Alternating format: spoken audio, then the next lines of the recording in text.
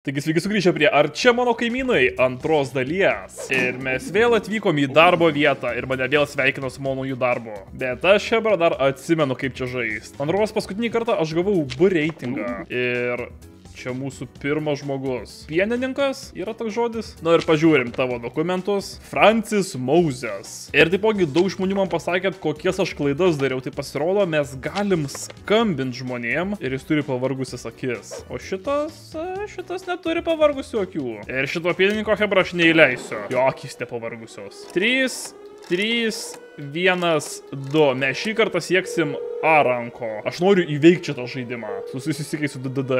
Ir grupė agentų buvo atsiusti į tavo pastatą. Palauk, kol išvalymo protokolas įvyks. Ir...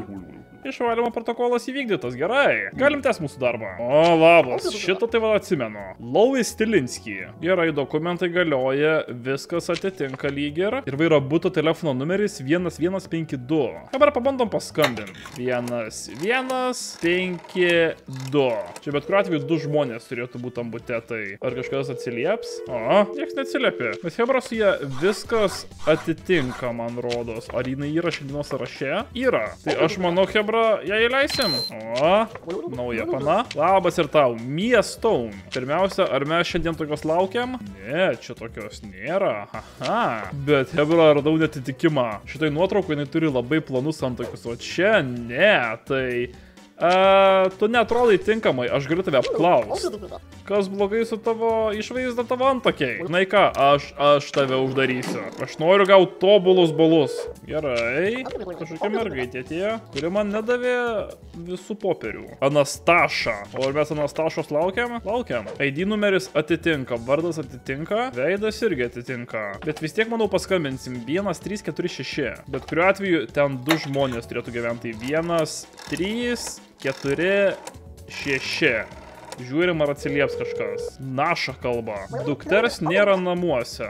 Ok, ar jį grįžo? Man rodos, kad grįžo. Hebra su juo viskas yra gerai. Gerai, gali eiti, gali eiti. Gal šitą padariau gerai. O, labas ponas, gražinosis. Makloj Rudboys. Ar mes tavęs laukiam šiandien? Laukiam. ID atitinka. Leidimas galioja. Bet saugumo sumetimais vis tiek skambinsiu. 4242. Kodėl aš to nedariau per pirmą epizodą? Aš nežinau, šitas labai padeda. Čia Stevenas kalba. Tėvo nėra namuose. Ir Hebra su juo viskas atitinka, tai gerai. Galiai. Ir Hebra taipogi kartu su manimi irgi kreipkite dėmesį į žmonės. Ir labas. Uh, šita jau buvo. Čia Mia Stone. Ai, palaukit, ne, aš tos neįleidau dėl antakių. Vis tiek paskambinsiu. 1, 4, 2, 5. Daktaras V. Aftonas kalba. Jos sužadėtinės nėra namuose. Gerai. Bet jos nėra šiandienos sąraše, galima apklausti kodėl. Jis savo, kad čia klaida. Jis turėtų būti sąraše. Hmm. Nu, žinokit, Hebras, jie viskas atitinka, kaip ir. Jos nėra sąraše, bet įleisiu, čia jau rizikuoju. O jėtus, kas jos rankom. Okei. Okay. Elenois Šverts. Aš nemanau, kad kažkas su tavo rankom Gerai, uh, gal, gal, aš, gal aš tai padarysiu. Nors, gal jai kokia nelaimė nutiko ir rankų sulūžo ir dabar už tai aš ją pašalinsiu. Bet jos nebėra. Valymo protokolas įvykdytas. Na, la... Vėl? Vėl? Hebra, dabar jau noriu paskambinti. Vienas, keturi, du, penki. Klausimas, kas dabar atsilieps, nes Aš šitą jau įleidau. Aha, daktaras Aftonas. Ir jo sužadėtinė yra bute. Viso gero tikriausiai. Tik va dabar klausimas, ar aš apsimetėlę įleidau butą ir jo tikrą sužadėtinę ką tik užmušiau. Nežinau, bet jos nebėra. Ir, o, oh, šitą pirmą kartą matau. Labas. Albertski. Ar mes tave šiandien laukiam? Laukiam. Bet nuotraukoje jis turi ūsus. Pirmo aukšto, antro buto. Nu, žiūrim. Jo išvaizdui yra parašyta, kad jis turi ūsus. Bet man jo kambarioko išvaizda žymiai labiau patinka. Ten, ten tai nosis, ten gera nosis, o tu...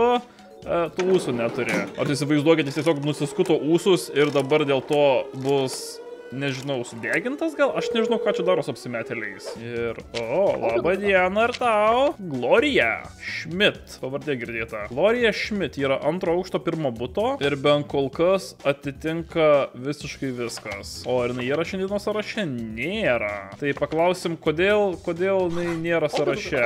Žinoma, jis savo, kad čia yra klaida. Tai reiškia, skambinsim jos butui. 5123. 5123. Tikiuosi kažkas pakels. O, Arnoldas kalba, jo žmonos nėra namie. Nu, ID atitinka, leidimas galioja, realiai išvaizda irgi atitinka. Hebra, žinokit, nežinau, nežinau. Žinot ką, įleisiu aš ją. Jau čia rizikuoju. O, kokia šypsena. Margareta burbuliukai. Labas, panelė burbuliukai, tu gyveni antram aukšte, trečiam bute. Ir ten jinai tik viena ir gyvena. Bet jūs viena akis net ten žiūri. Bet gal čia yra normalu. Jep, čia yra normalu. Bet apvali nosis. O čia ta nosis yra visiškai neapvali. Jep. Hebra, kol kas manau, mes labai neblogai dirbam. Esu beveik įstikinęs, kad nei vieno apsimetėlio kol kas nepraleidau. Ir ateina dar žmonių. Gerai, labas, labas. Romanas. Ar mes laukiam Romano šiandien? Laukiam. ID atitinka. Aprašymas irgi atitinka. Taipogi mes jo šiandieną laukiam, tai galim paskambinti būtui. Lovis Telinski lyg ir įleidau. Lois atsiliepia ir jos vyro nėra namie. Nu, realiai pasižino, kad Hebra viskas atitinka. Tai eikit į savo butą. Gerai, šitai leidom. O, kaip jūs atrodote įspūdingai. Aifas ar Alfas čia? Trečio aukšto, ketvirto buto. Ir jis gyvena su Raftelin kapučin. Ir su juo kol kas atitinka viskas, bet vis vieną aš noriu paskambinti. 4258. Na žiūrėm, ar atsilieps kažkas. Gal jis tai būti? Kas čia žino, nors realiai jis turėjo būti išėjęs šiandien. Niekas neatsiliepia. Ai, nes ir žmonos nėra. Bet Hebra, kol kas su juo yra viskas gerai, man rodos. Tai aš jį leisiu. Jo, eik. Ir vėl šitas grįžo. Šį kartą su ūsais. Ir bent kol kas atitinka viskas. Ir taipogi jo šiandieną mes laukiam. ID tinka, leidimas galioja. Ir su juo atrodo viskas gerai. Tai uh, aš tikriausiai patvirtinsiu tavo leidimą ir gali taip. Ir Hebra, man rodos, jau beveik visi suėjo. Išskyrus šitas. Angus Kiprianė. Žinau, ką paskambinsiu. Kadangi bet kuriu atveju nėra sąraše, tai gal jisai namie yra. Jep, atsiliepė rimtai. Tai aš jau žinau, kad apsimetėlis ponas. Tai šitą irgi pašalinsim. O, grįžo žmona. Raftelin kapučin. Ir aš žinau, kad jinai tikrai yra sąraše. Man rodos, jinai yra paskutinė iš sąrašo. Ir Hebros jie atitinka visiškai viskas. Išskyrus tą Maikį. Jinai tokia turi labai įdomų dizainą. O dabar tai dilema, aš nežinau ką daryti. Ar čia tokie drabužiai, tokių dviejų spalvų ar ne, ką daryti? Aš, aš nežinau ką daryti. Žinot ką, įleisiu, įleisiu. Kodėlgi ne? Žiūrėsim, ar nepadariau klaidos. Ir labas vėl. Jau šitą vieną kartą man ros pašalinom. Jep, Margareta burbuliukai. Realiai čia viskas gerai, išskyrus tie ryškiai geltoni dantys. Bet galbūt tai tiesiog nesivalo dantų ir aš neturiu kaip žinot, ar jos taip dantys iš tiesų turi atrodyti ar ne. Žinai ką, įleisiu. Čia labiausiai nežinau. Ir... Sutraiškė mano galvą. Pagau šešis apsimetėlius, nužudžiau vieną kaimyną ir įleidau vieną apsimetelį. Ką aš būtent įleidau? Miją įleidau. O, oh, bet gavau A lygį. Ir taipogi, jeigu ateisiu į rekord, mes galim gauti S lygį. Taipogi čia yra pasiekimai ir aš tikrai nesu gavęs visų. Išgyvenk netidarant jokio folderio. O, oh, šitą, šitą sunku. Ir gauk S lygį. Hebra, gausime S lygį. Gerai, šį kartą žiūrim žymiai įdėmiau ir taipogi šiandien mažiau žmonių. Labas. Jo nėra sąraše pirmiausia. Pirmam aukšte, pirmam bute. Paskambinsiu. Ir Lojus vyro nėra namie, tai jis gali būti čia. Žiūrim leidimas. Galioja. Bet kodėl tavęs nėra sąraše šiandieną? A? Ir jo nebuvo dėl skubaus iškvietimo į darbą. Ok. Ir Hebros yra viskas gerai. Manau, aš jį leisiu. Ir vėl šitą grįžo. Vėl dviejų spalvų maikė. Ir jos vėl nėra sąraše. 4258 paskambinsiu. Gerai, Alfas atsiliepė. Jo žmona ir jis yra bute. Apgaut mane bandai, ne?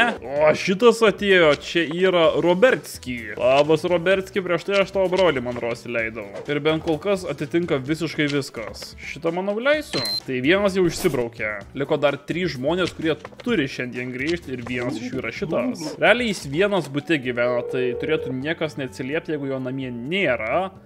Ir žinau, kad mes jo šiandien laukiam, tai jep jo nėra. Bet tai geltoni dantys. Žinai ką, eik, manau. O, vėl šitas grįžo, vėl geltoni dantys. Man atrodo, čia normalu turėti geltonus dantis, bet taipogi aš tave šiandien nelaukiu. Pirmiausia, reikia skambinti jų būtui ir ar kažkas bent jau atsilieps, tikiuosi atsilieps. McLoy Road Boys.